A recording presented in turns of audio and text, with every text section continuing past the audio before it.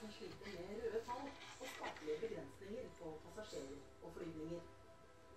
Det tok ikke av før en ire med Vikingjern bestemte seg for å fly fra Rygge i 2009. Med Ryanair på laget økte antallet flyvninger, og man begynte å tjene penger.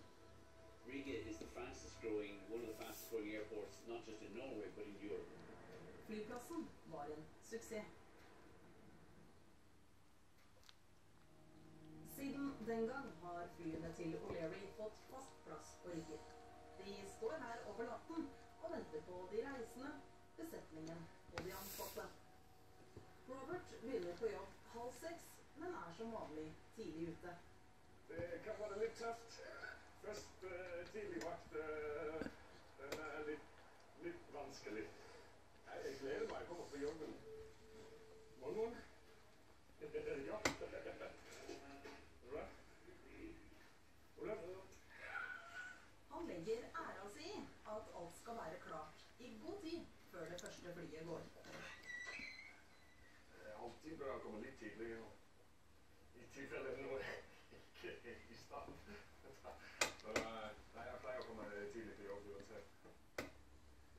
Bare i tilfelle. Og det har vist seg å være klok noen ganger. Han har funnet drømmejobben. Drømmearbeidsplassen og drømmekollegaene. Sinnssykt.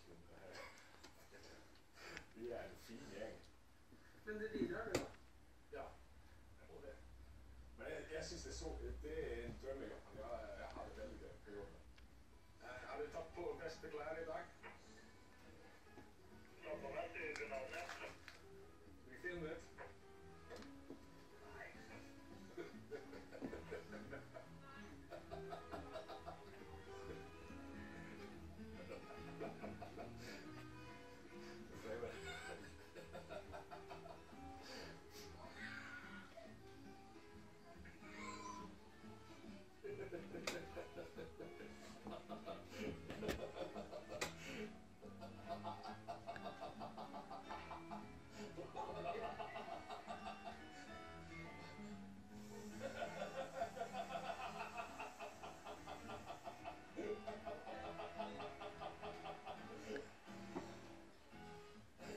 Nei, bare gjemme deg da.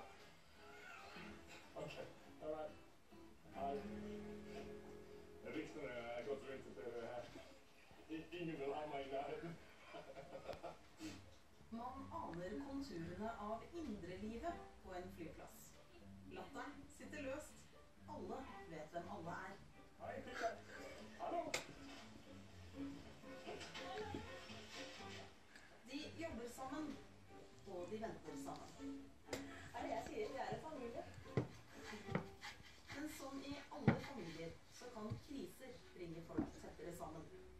For det er mørke skyer i horisonten. I fjor kom nyheten om en ny avgift.